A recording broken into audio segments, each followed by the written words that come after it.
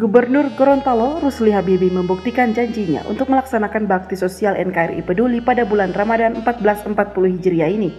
Kali ini seribu warga kurang mampu di Kecamatan Mananggo, Kabupaten Bualemo yang didatangi Gubernur Gorontalo Rusli Habibi bersama para pimpinan OPD. Kegiatan rutin pemerintah Provinsi Gorontalo setiap bulan suci Ramadan kita safar Ramadan dan dibagi dua tim tim satu saya dan rombongan, tim dua pewakil gubernur dan rombongan di tempat yang lain. Baksos ini sudah yang kedua kalinya digelar selama Ramadan. Sehari sebelumnya acara serupa digelar di Kecamatan Randangan, Kabupaten Pohuwato. Berbeda dengan pelaksanaan sebelumnya, baksos NKRI Peduli selama Ramadan diberikan dalam bentuk paket.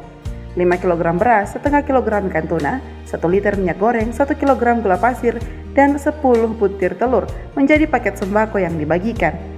Semua diberi gratis karena ditanggung oleh Basnas Provinsi Gorontalo setiap orang senilai Rp100.000. Selain menyerahkan bantuan sembako, ada juga penyerahan bantuan program benih jagung bagi perwakilan petani. Ada juga bantuan 10 ternak sapi bagi peternak di Kecamatan Mananggo. Setelah melaksanakan bakti sosial NKRI Peduli, Gubernur Gorontalo juga menggelar safari Ramadan yang dirangkaikan dengan sholat tarawih berjamaah bersama masyarakat di Masjid Nurul Huda, Kecamatan Mananggu, Kabupaten Bualemo.